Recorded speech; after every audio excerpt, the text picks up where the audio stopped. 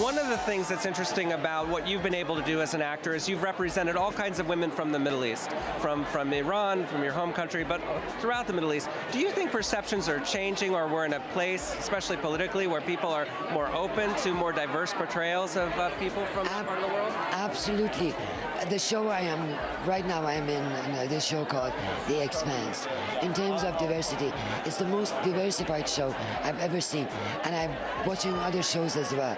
Tonight, looking at the red carpet with all the beautiful shades of brown, black, and white.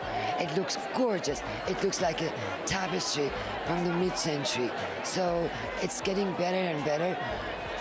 To be honest with you, we, we were used to this. We lived this. We were breathing it. It was the our reflection on the silver screen that wasn't enough. That it was for the producers to sort of reflect this. Now they're doing it. Well, it's really exciting to see. Uh, you have a movie that you are particularly rooting for tonight? I yes, yes. I have a couple of them. I was going to go say La La Land. Well, I, great. La La Land, Manchester by the Sea. I love those. Thank you, Shohreh. I really Moonlight, appreciate it. Moonlight. Oh, a lot of good movies. Thank you so much.